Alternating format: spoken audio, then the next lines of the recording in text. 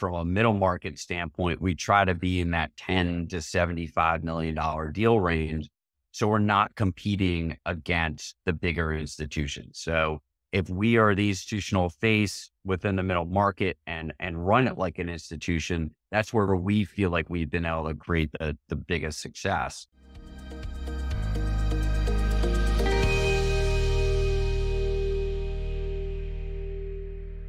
Is your daily real estate syndication show. I'm your host, Whitney Sewell. Today, our guest is Jeff Toporek, a founding partner of LFD Stonewater, and more than 30 years of experience in this industry, completed 8 billion plus in acquisitions, direct sales, and financings.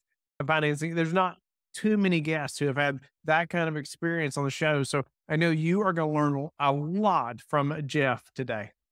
Jeff, welcome to the show. I'm looking forward to the conversation and honored to meet you. I, I can't say I've had too many guests who have completed more than $8 billion in, in uh, acquisitions. Uh, welcome to the show. Yeah, thanks for having me, Whitney. Yeah, Glad honored. to be here. Honored. And so, Jeff, let's dive in though. Obviously, the listeners and myself want to know a little bit about your background and I mean, getting to the spot of completing eight, 8 billion in acquisitions. That's, that's something, right? Not many of us can say that.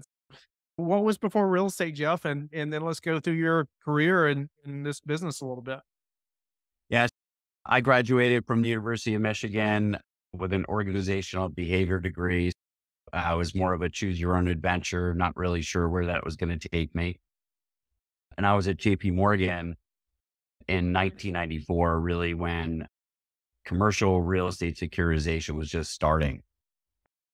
And I worked there and worked on their first two securitizations, which is a really exciting time coming out of the early 90s recession. And then I ultimately realized real estate is something I really enjoyed doing. It would felt tangible to me. I could walk to it. It had a very creative component to it with the architecture and interior build outs and different space uses and uh, wasn't just a product on a piece of paper.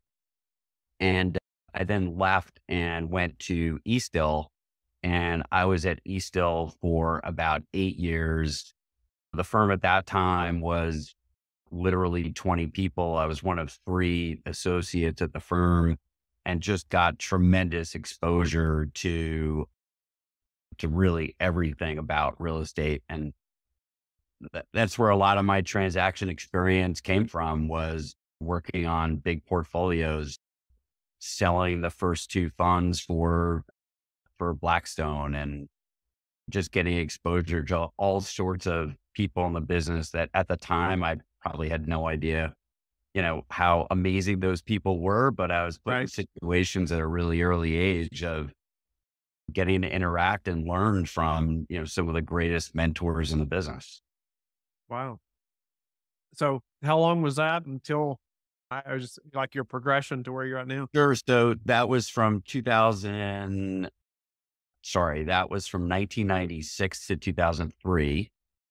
And then in 2003, kind of coinciding with starting a family uh, and and buying my first house. That was uh, a little bit of a crazy thing to do. Was to uh, ask my wife if it was okay to start a business um, on the principal side. And uh, lucky for her, she said, "Look, I I grew up in a two bedroom apartment. If it blows up, we can we can always as long as we love each other, we can we can always go back and live in the apartment together."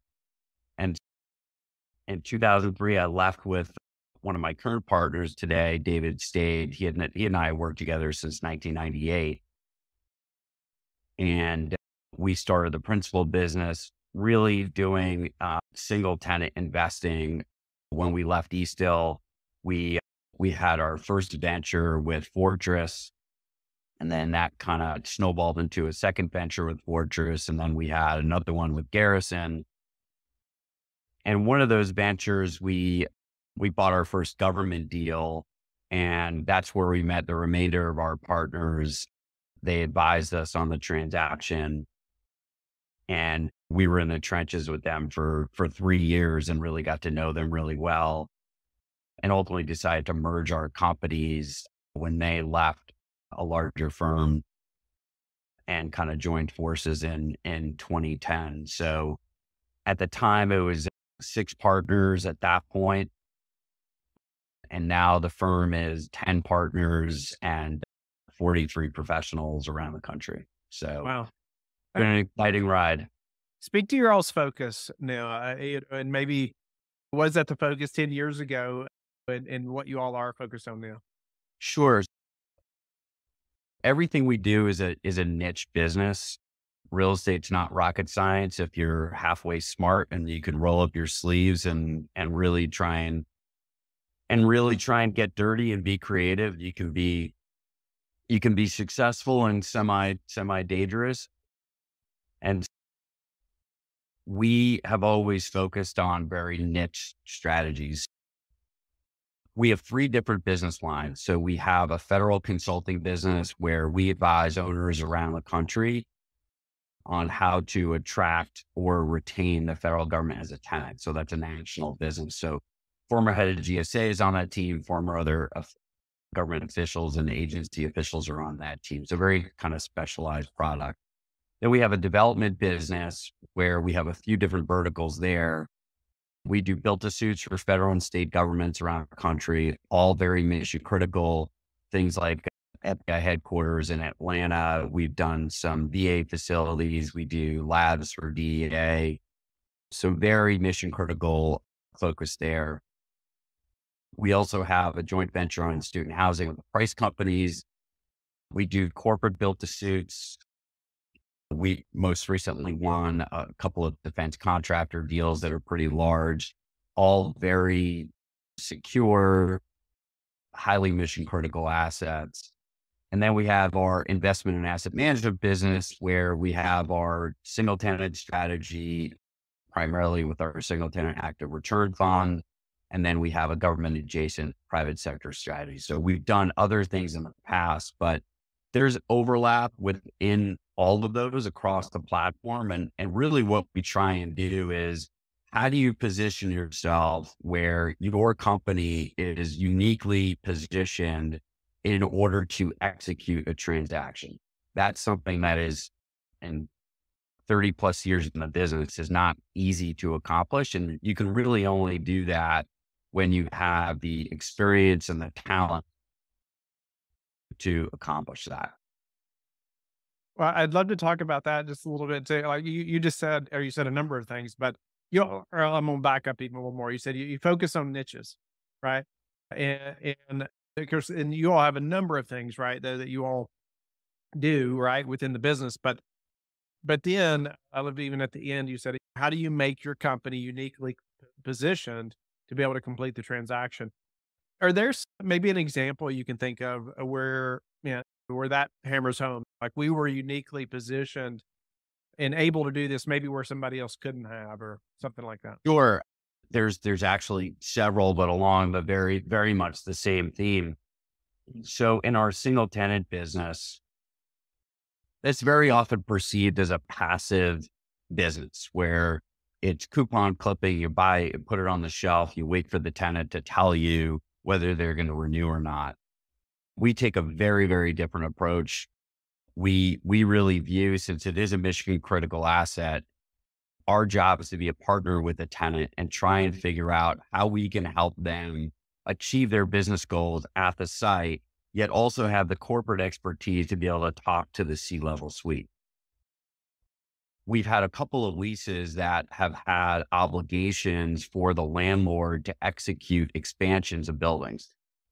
We had one north of Drummond in Dayton, Ohio. We we have a manufacturing facility right now in Yuma, Arizona that we're doing that with. And we have another defense contractor in Huntsville, Alabama. Very similar type of situation where most passive investors don't really have the development expertise to execute an expansion for a tenant. And typically those are very complicated because the tenant is still occupying the existing premises. You're not just building a separate building, you're actually continuing their operation, getting the expansion done. So our development team comes in and really advises the the tenant on how to value engineer, what they're thinking about in terms of design, getting really involved in the operations of adding lines mm. to a manufacturing plant, not just using it as storage and helping them figure out the most cost effective way to get it done. And those tenants are not in the development and real estate business. They want to be doing what they're good at, which is executing their business. So having a value proposition where our development team can actually fully execute a real estate expansion for them is tremendously beneficial. And it's usually it's a it's a pretty easy win-win for both sides. And we typically get lease extensions and get the expansion done. That's been a, a great example of, of how we kind of work across the platform together. Instead of that tenant looking to move somewhere else. Exactly. And they have those choices. If there's an existing plant somewhere else with the capacity, they could actually just move there. We've had that come up in in the past, but most of those people who are at these facilities don't really want to move. And it's getting that information on the ground with the facilities people to understand their pain points of what do you need and and walking the facilities and understanding what they do as a business. We don't really view our job as just a real estate landlord collecting a rent check. Um, we're trying to be their partner to help them succeed in their business because ultimately, if they succeed, it's a pretty easy translation to we're going to succeed. Yeah, for sure. No, I love that. And it sounds like you all been creative in in adding these other uh, ways that you all been able to do this. So you listed so many, uh, and it's interesting.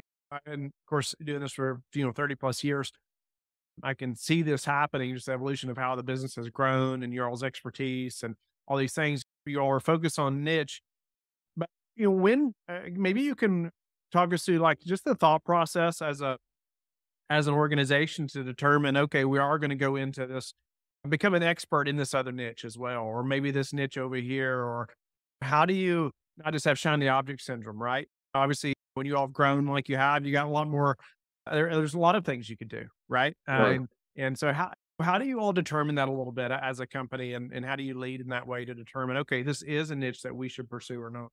Yeah, I could give you two very recent examples of look, we we try and diversify, but we try and do it organically. We try and do it where the company is prepared and is able to take on that additional business.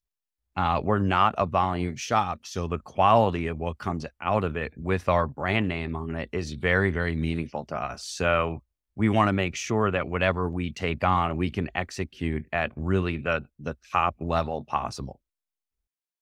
And so, you know, we, we recently expanded into corporate build to suit was a natural transition because we were already doing that on the government build to suit side, building secure facilities for them.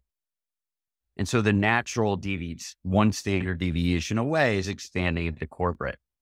It just so happens that the two first deals that we participated in RFP, we won partially because our track record on having done it for the government was so solid for 15 years of executing for the government, there was an easy decision.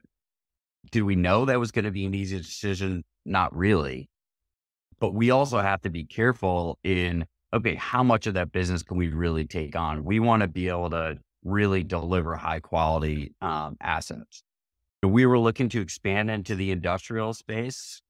And this, I think, will give you a good sense of, of kind of how we think about things. We started looking at markets like Charleston and Charlotte and and really start to realize the institutions already started coming in. So one key criteria is we always look at secondary and tertiary markets. And then from a middle market standpoint, we try to be in that 10 to $75 million deal range. So we're not competing against the bigger institutions. So if we are the institutional face within the middle market and and run it like an institution, that's where we feel like we've been able to create the the biggest success.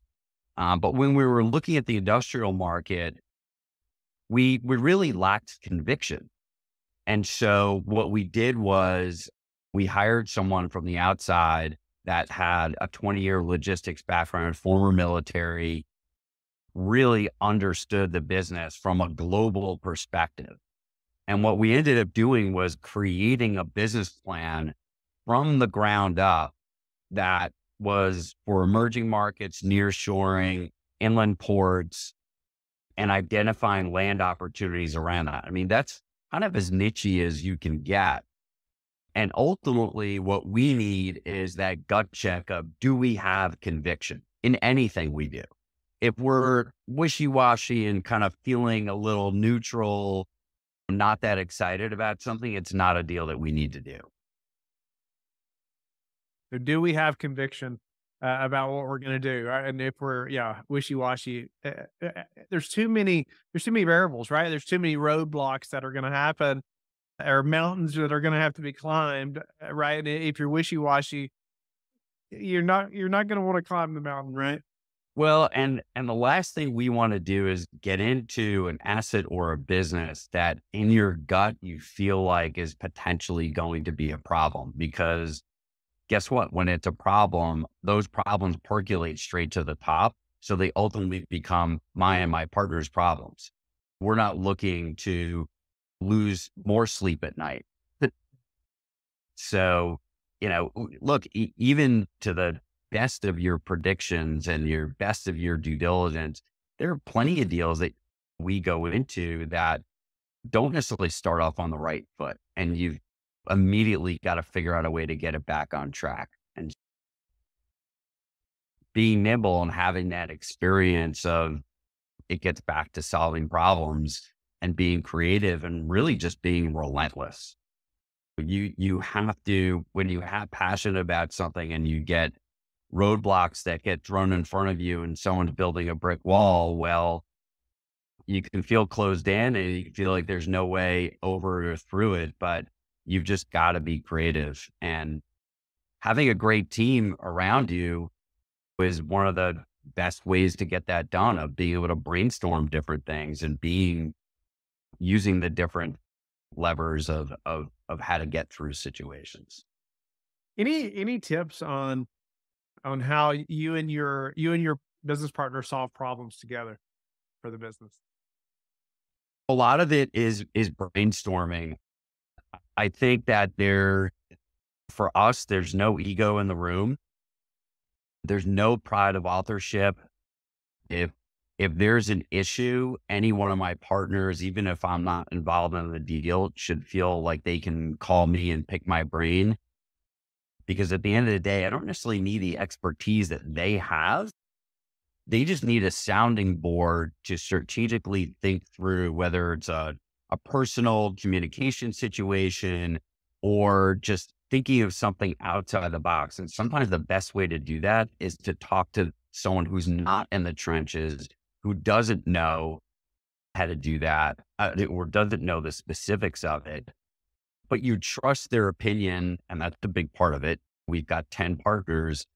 We've been partners for a long time. There's a tremendous amount of trust there where you know that everybody's rowing in the same direction, trying to achieve the same goal, and really having open and honest communication. It, if that breaks down, your ability to get to a creative solution um, really kind of goes away. You need to hear the good, the bad, and the ugly of what it is that you can do differently. And you need to learn from some of those mistakes and try and not repeat them. Yeah, for sure. Well, I, I just wonder, obviously, I think all the listeners can relate to, well, so many things you've mentioned here, whether it's shiny object syndrome or running off, hey, we can go do this thing or whatever, should we, right? But even the, the, how you're working with partners, right? And the brainstorming and the no pride of authorship. Uh, it's like we're all coming together for uh, this, uh, to get to the goal, right? And, and making these determinations and, and brainstorming, thinking out loud and, and I, yeah, it just it makes so much sense. I, I guess one more thing before we have to end this segment, what would you say is a is a challenge right now for LFD Stonewater? I mean, what's what's what's the challenge you all are, are working through right now? I think everybody is going through challenges today, right? Where the, the capital markets are are severely severely challenged lack of liquidity on the on the debt and equity side and we're working on problems that might be a year or two from now and just try and get that risk off the table. And I think for your listeners, while you need to focus on the problems that are right in front of you, you also need to keep your eye on the ball of where the next two to three moves might be down the road and how you're going to go solve those because they impact the decision you may need to make today. And so having the forethought of where things might be headed and anticipating what those issues might be, that's where I think we're spending a lot of our time. We don't necessarily have fires blazing today, but I remember during the Great Recession, I had we had two years where there were no fires blazing. And you're trying to just figure out, well, there's going to be something. Like, how do you anticipate it?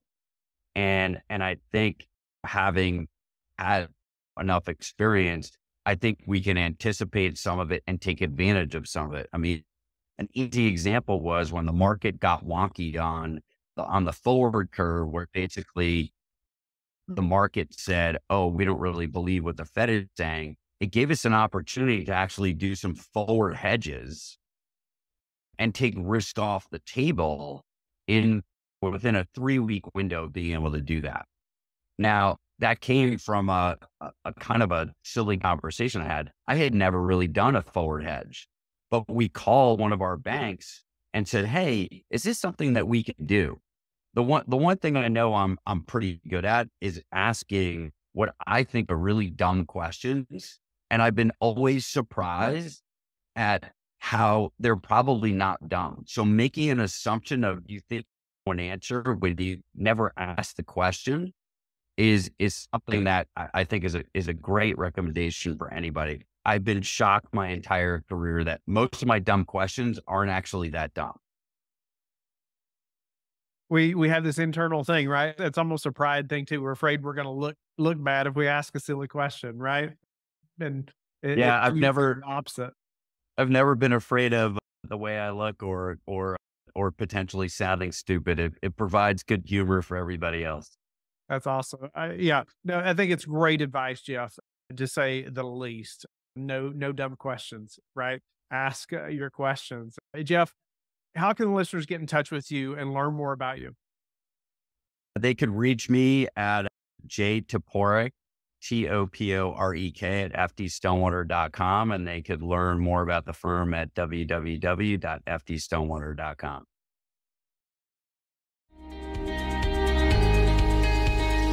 Thank you for being with us again today. I hope that you have learned a lot from the show. Don't forget to like and subscribe. I hope you're telling your friends about the Real Estate Syndication Show and how they can also build wealth in real estate. You can also go to lifebridgecapital.com and start investing today.